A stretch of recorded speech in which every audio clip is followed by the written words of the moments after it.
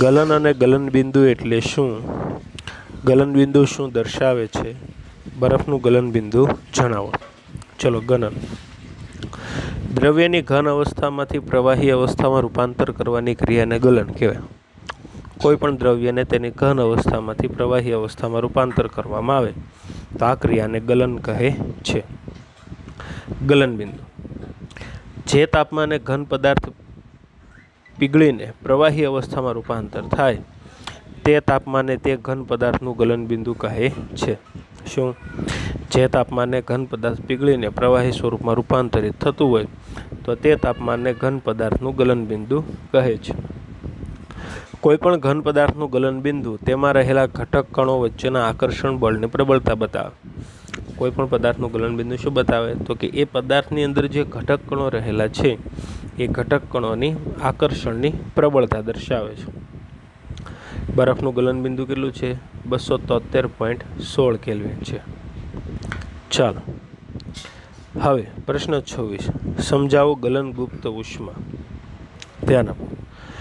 ગલનના પ્રયોગની પ્રક્રિયા દરમિયાન ગલનબિંદુ સુધી પહોંચ્યા બાદ જ્યાં સુધી બરફ પીગળી ન જાય, ત્યાં સુધી તાપમાન બદલાતું નથી. બીકરને ગરમી આપવા છતાં તાપમાન કેવું રહે છે? અચળ. શું કીધું? તમે ગલનનો પ્રયોગ કરો. ગલનનો પ્રયોગ એટલે બરફને ઓગાળો અને અંદર તમે થર્મોમીટર મૂકો અને હીટર મૂકો, જેને કારણે બરફ પીગળે છે. તો બરફ જ્યાં સુધી પીગળી ન જાય, ત્યાં સુધી બરફનું તાપમાન ઝીરો અંશ સેલ્સિયસ જ રહે છે. એને ગરમી આપવામાં આવે છે છતાં બરફનું તાપમાન ઝીરો અંશ સેલ્સિયસ રહે છે એટલે તાપમાન અચળ રહે છે. તો બરફના કણો વચ્ચે જે આ પારસ્પરિક આકર્ષણ બળ છે, એ પછી તોડી નાખે છે. ઉપર વટ જાય એટલે તોડી નાખે છે. અને આ બળને તોડીને દ્રવ્યની ઘન અવસ્થામાંથી પ્રવાહી અવસ્થા એટલે કે ઉષ્માનો ઉપયોગ કરીને એને પીગાળવામાં આવે છે. પણ તાપમાનમાં તો કોઈ ફેરફાર થતો જ નથી, કારણ કે તાપમાનની અંદર તો ઝીરો અંશ સેલ્સિયસ જ બતાવે છે અને ઊર્જા શોષી લે છે. તો એવું માનવામાં આવે છે કે આ ઉષ્મા ઊર્જા જે છે એ બીકરની અંદર રહેલા સંઘ ઘટકોમાં છુપાયેલી હોય. બીકરની અંદર જે બરફની અંદર જે ઘટકો છે, એની અંદર ઉષ્મા ઊર્જા છુપાઈ જાય અને એને ગુપ્ત ઉષ્મા ઊર્જા કહે છે. અહીં ગુપ્તનો અર્થ થાય છે છુપાયેલી ઊર્જા, એવો કરવામાં આવે છે. પદાર્થનું ગલનબિંદુ જેટલા તાપમાને વ્યાખ્યા છે. પદાર્થના ગલનબિંદુ જેટલા તાપમાને એક વાતાવરણ દબાણે એક કિલોગ્રામ ઘન પદાર્થને પ્રવાહીમાં રૂપાંતર કરવા માટે જરૂરી ઉષ્મા ઉર્જાને ગલનગુપ્ત ઉષ્મા કહે છે. શું? પદાર્થના ગલનબિંદુ જેટલા તાપમાને, એક વાતાવરણ દબાણે, એક કિલોગ્રામ ઘન પદાર્થને પ્રવાહી અવસ્થામાં રૂપાંતરિત કરવા માટે જરૂરી ઉષ્મા ઉર્જાને ગલનગુપ્ત ઉષ્મા કહે છે. ઝીરો અંશ સેલ્સિયસ તાપમાને પાણીના કણોની ગતિ ઊર્જા. એ જ તાપમાને બરફના કણોની ગતિ ઊર્જા કરતાં કેવી હોય છે? વધુ હોય છે. એટલે કે બરફની ગલનગુપ્ત ઉષ્મા કેટલી હોય? ત્રણ પોઈન્ટ પાંત્રીસ ગુણ્યા દસની પાંચ કા જૂલ પ્રતિ કિલોગ્રામ. સત્યાવીસમો પ્રશ્ન. તાપમાનનો આંતરરાષ્ટ્રીય એસઆઈ એકમ જણાવો. તાપમાનનું મૂલ્ય કેલ્વિન માપક્રમમાંથી સેલ્સિયસમાં અને સેલ્સિયસ માપક્રમમાંથી કેલ્વિનમાં કેવી રીતે ફેરવવામાં આવે, રૂપાંતર કરવામાં આવે, જણાવો. ચલો, તાપમાનનો આંતરરાષ્ટ્રીય એસઆઈ એકમ કોણ છે? કેલ્વિન છે. ઝીરો અંશ સેલ્સિયસ બરાબર કેટલા કેલ્વિન થાય? બસો તોતેર પોઈન્ટ સોળ કેલ્વિન થાય. પણ આપણી સરળતા ખાતર આપણે ઝીરો અંશ સેલ્સિયસ બરાબર કેટલા કેલ્વિન લઈએ છીએ? બસો તોતેર કેલ્વિન લઈએ છીએ. ચાલો. તાપમાનનું માપ કેલ્વિનમાંથી અંશ સેલ્સિયસમાં ફેરવવું હોય, તો કેલ્વિનમાંથી અંશમાં ફેરવવું તો કેલ્વિનમાં જે કિંમત આપેલી એમાંથી બસો તોતેર બાદ કરી દેવાના. અથવા અંશ સેલ્સિયસમાંથી કેલ્વિનમાં ફેરવવું તો જે સેલ્સિયસ આપેલા હોય એની અંદર બસો તોતેર પ્લસ કરી દેવા પડે.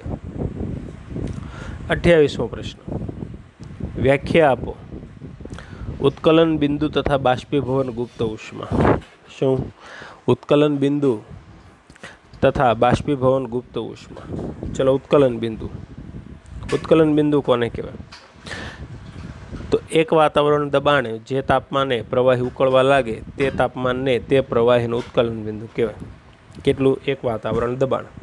અને જે તાપમાને પ્રવાહી ઉકળવા લાગે તે તાપમાનને તે પ્રવાહીનું શું કહેવાય? ઉત્કલન બિંદુ કહેવાય.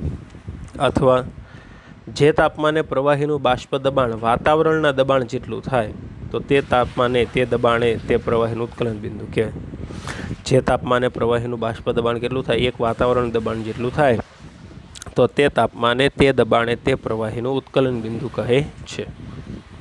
પર્વતની તળેટી પર્વતની તળેટી, પર્વતનો નીચેનો વિસ્તાર અને પર્વતના શિખર એટલે પર્વતની ટોચ ઉપર વાતાવરણનું દબાણ જુદું જુદું હોય. એટલે બંને જગ્યાએ પદાર્થનું ઉત્કલન બિંદુ, પણ કેવું છે જુદું જુદું.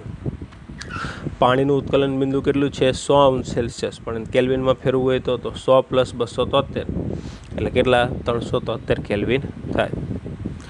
હવે એમાં જ તે આગળ બાષ્પીભવન ગુપ્ત ઉષ્મા. બાષ્પીભવન ગુપ્ત ઉષ્મા કોને કહેવાય? ધ્યાન આપો. તો પદાર્થના ઉત્કલન બિંદુ જેટલા તાપમાને એક વાતાવરણ દબાણે એક કિલોગ્રામ પ્રવાહી પદાર્થને વાયુ અવસ્થામાં રૂપાંતરિત કરવા માટે જરૂરી ઉષ્મા ઉર્જાને બાષ્પીભવન ગુપ્ત ઉષ્મા કહે છે. પદાર્થના ઉત્કલન બિંદુ જેટલા તાપમાને એક વાતાવરણ દબાણે એક કિલોગ્રામ પ્રવાહી પદાર્થને વાયુ અવસ્થામાં રૂપાંતરિત કરવા માટે જરૂરી ઉષ્મા ઉર્જાને બાષ્પીભવન ગુપ્ત ઉષ્મા કહે છે. ત્રણસો તોતેર કેલ્વિન તાપમાને પાણીની બાષ્પના કણો, તે જ તાપમાને પાણીના કણો કરતાં વધુ ઉર્જાવાળા હોય છે.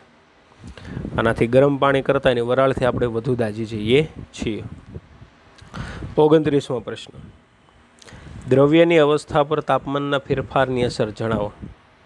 દ્રવ્યની અવસ્થા ઉપર તાપમાનના ફેરફારની શું અસર થાય છે જોઈએ. તો જેમ જેમ તાપમાન બદલાવા લાગે છે, તેમ પદાર્થનું એક અવસ્થામાંથી બીજી અવસ્થામાં રૂપાંતર આ રીતે થાય. કે ઘન અવસ્થાનું ઉષ્મા આપો તો પ્રવાહીમાં ફેરવાય, પ્રવાહીને ઉષ્મા આપો તો વાયુમાં ફેરવાય.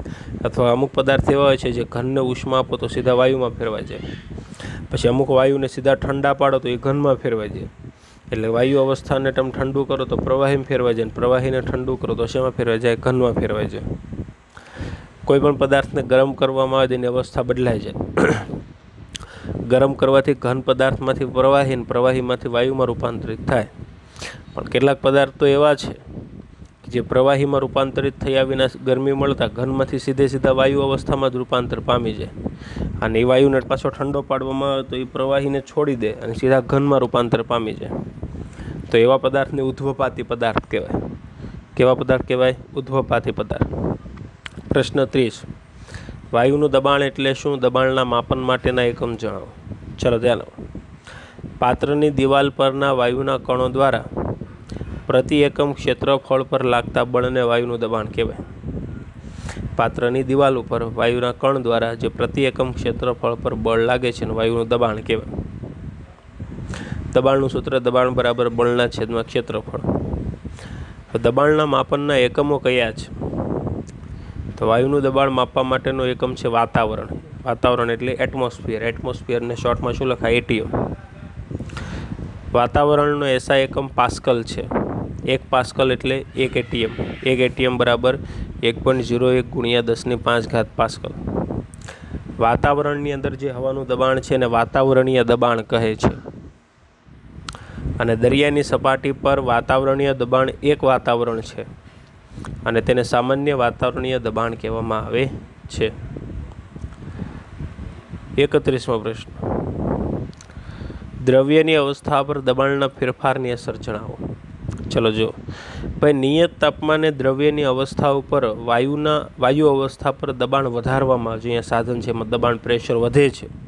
તો વાયુના ઘટક કણો એકબીજાની સાવ નજીક વધુને વધુ નજીક આવવાનો પ્રયત્ન કરે છે. અને વાયુનું દબાણ જો તમે વધારતા જ જાઓ તો એક સમયે એ વાયુ છે ઘનની અંદર રૂપાંતર થઈ જશે. શેમાં રૂપાંતર થઈ જશે? ઘનની અંદર. બત્રીસમો પ્રશ્ન. વાયુનું પ્રવાહીકરણ એટલે શું? ધ્યાન નિયત જથ્થાના વાયુનું દબાણ વધારવામાં આવે અને તાપમાન ઘટાડવામાં આવે, તો તેનું પ્રવાહીમાં રૂપાંતર થઈ શકે છે. આ ક્રિયાને વાયુનું પ્રવાહીકરણ કહેવાય. તેત્રીસમાં.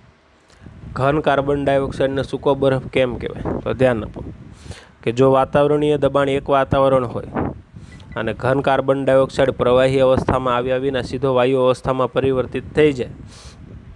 તો તે જ કારણે ઘન કાર્બન ડાયોક્સાઇડને સૂકો બરફ કહેવાય.